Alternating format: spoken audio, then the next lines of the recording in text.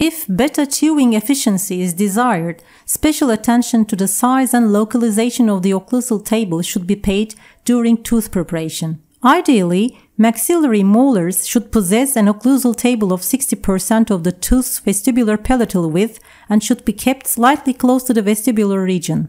By this way, the functional cusp can be designed wider. For mandibular teeth, the occlusal table should be close to the lingual side so that the buccal functional cusp can be prepared more voluminous. With appropriate table width and strong functional cusps, the food can be easily crushed and extreme oblique forces on teeth are avoided. Preparation should be in accordance with the anatomy and inclinations of the tooth. When a monoplaned preparation is performed on functional cusps, the occlusal table has to be prepared wider, leading to excessive forces to be transmitted to the tooth.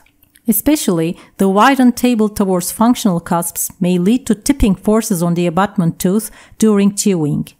This triggers the proprioceptive mechanism, resulting in either decreasing the chewing efficiency or causing malpositioning of the tooth.